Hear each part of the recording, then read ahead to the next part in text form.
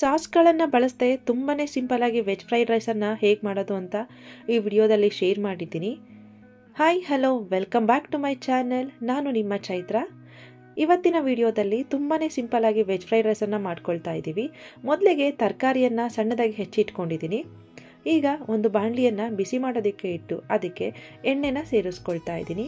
ಎಣ್ಣೆ ಬಿಸಿ ಆದಮೇಲೆ ಇದಕ್ಕೆ ಸಣ್ಣದಾಗಿ ಹೆಚ್ಚಿಟ್ಕೊಂಡ್ರು ಶುಂಠಿ ಬೆಳ್ಳುಳ್ಳಿಯನ್ನು ಸೇರಿಸ್ಕೊಂಡು ಫ್ರೈ ಮಾಡ್ಕೊಳ್ಬೇಕು.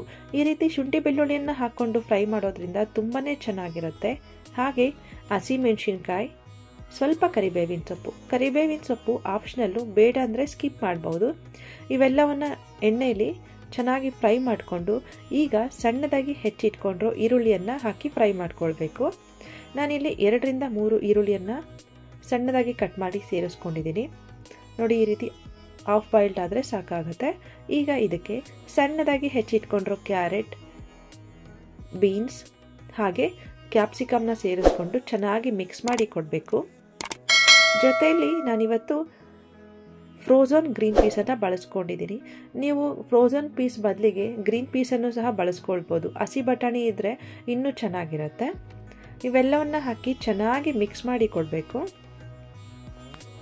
ಮನೆಯಲ್ಲಿ ಯಾವ ತರಕಾರಿ ಇದೆಯೋ ಆ ತರಕಾರಿನ ಹಾಕಿ ಮಾಡ್ಕೊಳ್ಳಿ. ತುಂಬಾ ಚೆನ್ನಾಗಿ ಬರುತ್ತೆ. ಈಗ ಇದಕ್ಕೆ ಒಂದು ಟೇಬಲ್ ಸ್ಪೂನಷ್ಟು ಉಪ್ಪನ್ನು ಹಾಕಿ ಚೆನ್ನಾಗಿ ಮಿಕ್ಸ್ ಮಾಡಿ ಕೊಡ್ತಾ ಇದ್ದೀನಿ. ಇದರಿಂದ ಉಪ್ಪು ಚೆನ್ನಾಗಿ ಹಿಡಿಯುತ್ತೆ. ಜೊತೆಗೆ ಉಪ್ಪನ್ನು ಸೇರಿಸಿ ಬೇಯಿಸ್ಕೊಳ್ಳೋದ್ರಿಂದ ಬೇಗ ಬೇಯುತ್ತೆ ಕೂಡ. ಈಗ ಇದನ್ನು ಮಿಕ್ಸ್ ಮಾಡಿ ಕೊಟ್ಟು ಒಂದು ಐದು ನಿಮಿಷ ಲಿಡ್ಡನ್ನು ಕ್ಲೋಸ್ ಮಾಡಿ. ಮೀಡಿಯಂ ಫ್ಲೇಮಲ್ಲಿ ಇಟ್ಕೊಂಡು ಬೇಯಿಸ್ಕೊಂಡ್ರೆ ಬೇಗ ಬೇಯುತ್ತೆ. ಈಗ ಐದು ನಿಮಿಷ ಆಗಿದೆ. ಇದನ್ನು ಮತ್ತೆ ಚೆನ್ನಾಗಿ ಮಿಕ್ಸ್ ಮಾಡಿ ಕೊಡಬೇಕು. ಈಗ ಇದಕ್ಕೆ ಒಂದು ಟೇಬಲ್ ಸ್ಪೂನ್ನಷ್ಟು ಪೆಪ್ಪರ್ ಪೌಡರನ್ನು ಹಾಕ್ಕೊಳ್ತಾ ಇದ್ದೀನಿ. ಹಾಗೆ ಅರ್ಧ ಟೇಬಲ್ ಸ್ಪೂನಷ್ಟು ಗರಂ ಮಸಾಲ. ನೀವು ಈ ಟೈಮಲ್ಲಿ ಹಸಿಮೆಣಸಿನ್ಕಾಯಿ ಬದಲಿಗೆ ಖಾರದ ಪುಡಿಯನ್ನು ಸಹ ಸೇರಿಸ್ಕೊಳ್ಬೋದು. ಹಾಗೆ ಸಣ್ಣದಾಗಿ ಹೆಚ್ಚಿಟ್ಕೊಂಡ್ರೆ ಕೊತ್ತಂಬರಿ ಸೊಪ್ಪನ್ನು ಸೇರಿಸಿ ಚೆನ್ನಾಗಿ ಮಿಕ್ಸ್ ಮಾಡಿ ಕೊಡಬೇಕು. ತುಂಬಾ ಸಿಂಪಲ್ಲಾಗಿ ಮಾಡ್ಕೊಳ್ಬೋದು ಈ ರೆಸಿಪಿಯನ್ನು. ಯಾವುದೇ ಸಾಸ್ಗಳು ಬೇಕಾಗಿಲ್ಲ ತೇಟ್ ನಮಗೆ ಸಾಸ್ಗಳನ್ನು ಹಾಕಿದರೆ ಯಾವ ಟೇಸ್ಟ್ ಇರುತ್ತೋ ಅದೇ ಟೇಸ್ಟ್ ಇರುತ್ತೆ. ಈಗ ಇದನ್ನು ಚೆನ್ನಾಗಿ ಮಿಕ್ಸ್ ಮಾಡಿಕೊಟ್ಟು ಲಿಡ್ಡನ್ನು ಕ್ಲೋಸ್ ಮಾಡಿ ಎರಡರಿಂದ ಮೂರು ನಿಮಿಷ ಬೇಯಿಸ್ಕೊಂಡ್ರೆ ಸಾಕಾಗತ್ತೆ. ಈಗ ಇದಕ್ಕೆ ಮಾಡಿಟ್ಟಿರುವಂಥ ರೈಸನ್ನು ಸೇರಿಸ್ಕೊಳ್ತಾ ಇದ್ದೀನಿ.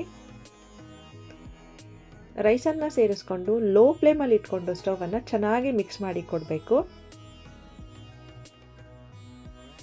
ನಾನಿಲ್ಲಿ ನಾರ್ಮಲ್ ರೈಸ್ ಹಾಕಿನೇ ಮಾಡ್ತಾ ಇದ್ದೀನಿ. ನೀವು ಬೇಕಾದರೆ ಬಾಸುಮತಿ ರೈಸ್ ಅಥವಾ ಲೆಫ್ಟ್ ಓವರ್ ರೈಸಲ್ಲೂ ಸಹ ಮಾಡ್ಕೊಳ್ಬಹುದು. ಈಗ ಸ್ಟವನ್ನು ಆಫ್ ಮಾಡಿ ನಿಂಬೆ ರಸವನ್ನು ಸೇರಿಸ್ಕೊಳ್ತಾ ಇದ್ದೀನಿ. ನಿಂಬೆ ರಸವನ್ನು ಹಾಕ್ಕೊಳ್ಳೋದ್ರಿಂದ ಟೇಸ್ಟು ತುಂಬಾ ಚೆನ್ನಾಗಿರುತ್ತೆ. ಇವೆಲ್ಲವನ್ನು ಹಾಕಿ ಚೆನ್ನಾಗಿ ಮಿಕ್ಸ್ ಮಾಡಿ ಕೊಡಬೇಕು. ನೋಡಿ ಎಷ್ಟು ಸಿಂಪಲ್ಲಾಗಿ ಹಾಗೆ ಕಡಿಮೆ ಸಮಯದಲ್ಲಿ ವೆಜ್ ಫ್ರೈಡ್ ರೈಸ್ ರೆಡಿ ಆಗುತ್ತೆ. ತುಂಬಾ ಸಿಂಪಲ್ಲಾಗಿ ಮಾಡ್ಕೊಳ್ಬೋದು ಮತ್ತು ಲಂಚ್ ಬಾಕ್ಸ್ಗೂ ಒಂದು ಒಳ್ಳೆ ರೆಸಿಪಿ ಅಂತ ಹೇಳ್ಬೋದು. ಹಾಗೆ ಇದ್ರ ಜೊತೆಯಲ್ಲಿ ಪೋಮೊಗ್ರನೇಟ್ ಜ್ಯೂಸನ್ನು ಮಾಡ್ಕೊಂಡಿದ್ದೀನಿ. ಮೊದಲಿಗೆ ದಾಳಿಂಬೆ ಹಣ್ಣನ್ನು ಬಿಡಿಸಿ ಜ್ಯೂಸ್ ಜಾರಿಗೆ ಸೇರಿಸ್ಕೊಳ್ತಾ ಇದ್ದೀನಿ. ನಾನು ನೀರು, ನೀರನ್ನು ಹಾಕ್ತಾ ಇಲ್ಲ, ಹಾಗೆ ಗ್ರೈಂಡ್ ಮಾಡ್ಕೊಳ್ತಾ ಇದ್ದೀನಿ. ಮೊದಲಿಗೆ ಹಾಗೆ ಗ್ರೈಂಡ್ ಮಾಡಿಕೊಂಡು ಈಗ ಇದಕ್ಕೆ ಸ್ವಲ್ಪ ನೀರನ್ನು ಸೇರಿಸ್ಕೊಳ್ತಾ ಇದ್ದೀನಿ. ಹೆಚ್ಚಿಗೆ ಹಾಕ್ಕೊಳ್ಳೋದು ಬೇಡ. ಹಾಗೆ ನಾನಿಲ್ಲಿ ಸಕ್ಕರೆ ಏನೂ ಹಾಕ್ತಿಲ್ಲ. ಯಾಕೆ ಅಂದರೆ ದಾಳಿಂಬೆ ಹಣ್ಣಲ್ಲೇ ಸ್ವೀಟ್ ಇರುತ್ತೆ. ನಾವೇನಾದರೂ ಮತ್ತೆ ಶುಗರ್ ಹಾಕೋದ್ರಿಂದ ಅದು ಎವಿ ಅನಿಸುತ್ತೆ. ಹಾಗೆ ಸಕ್ಕರೆ ಆರೋಗ್ಯಕ್ಕೂ ಒಳ್ಳೆಯದಲ್ಲ ಅದಕ್ಕಾಗಿ ತುಂಬಾ ಸಿಂಪಲಾಗಿ ಪೊಮೊಗ್ರನೇಟ್ ಜ್ಯೂಸನ್ನು ಮಾಡ್ಕೊಳ್ಬಹುದು. ಕೆಲವೊಂದು ಮಕ್ಕಳು ದಾಳಿಂಬೆ ಹಣ್ಣನ್ನು ಹಾಗೆ ಕೊಟ್ಟರೆ ತಿನ್ನೋದಿಲ್ಲ. ನಾವು ಆಗ ಈ ರೀತಿ ಗ್ರೈಂಡ್ ಮಾಡಿ ಜ್ಯೂಸ್ ಥರ ಕೊಟ್ಟರೆ ತುಂಬಾ ಇಷ್ಟಪಟ್ಟು ಕುಡಿತಾರೆ. ಹಾಗೆ ಸ್ವೀಟು ಸಹ ಇರುತ್ತೆ. ಗ್ರೈಂಡ್ ಮಾಡಿ ಕೊಡ್ತೀವಲ್ವ? ಆಗ ತುಂಬ ಸ್ವೀಟ್ ಇರುತ್ತೆ ಜ್ಯೂಸು ನ್ಯಾಚುರಲ್ಲಾಗಿ ಸ್ವೀಟ್ ಇರುತ್ತೆ. ಅದಕ್ಕಾಗಿ ಸಕ್ಕರೆನೂ ಬೇಕಾಗೋದಿಲ್ಲ. ತುಂಬ ಹೆಲ್ತ್ಗೂ ಸಹ ಒಳ್ಳೆಯದು ಈ ರೀತಿ ನಾವು ಪೊಮೊಗ್ರನೇಟ್ ಜ್ಯೂಸನ್ನು ಮಾಡಿ ಮಕ್ಕಳಿಗಾಗಲಿ ಅಥವಾ ದೊಡ್ಡವರಾಗಲಿ ಕುಡಿಯೋದ್ರಿಂದ ತುಂಬಾ ಹೆಲ್ತ್ ಬೆನಿಫಿಟ್ ಇದೆ. ಬ್ಲಡ್ ಚೆನ್ನಾಗಿ ಇಂಪ್ರೂವ್ ಆಗುತ್ತೆ. ಆರೋಗ್ಯಕ್ಕೂ ಸಹ ತುಂಬ ಒಳ್ಳೆಯದು ನೋಡಿ, ಎಷ್ಟು ಸಿಂಪಲ್ಲಾಗಿ ದಾಳಿಂಬೆ ಹಣ್ಣಿನ ಜ್ಯೂಸನ್ನು ಮಾಡ್ಕೊಳ್ಬೋದು ಅಂತ. ಇವತ್ತಿನ ತಿಂಡಿಗೆ ವೆಜ್ ಫ್ರೈಡ್ ರೈಸು ಮತ್ತು ದಾಳಿಂಬೆ ಹಣ್ಣಿನ ಜ್ಯೂಸು ತುಂಬಾ ಸಿಂಪಲಾಗಿ ಮಾಡ್ಕೊಳ್ಬೋದು.